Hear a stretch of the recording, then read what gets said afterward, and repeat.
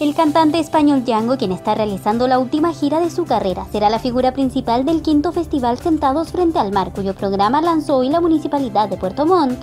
El evento internacional, que estima reunir al menos a 23.000 personas, se desarrollará entre el 1 y 4 de febrero de 2017 en el recinto Arena.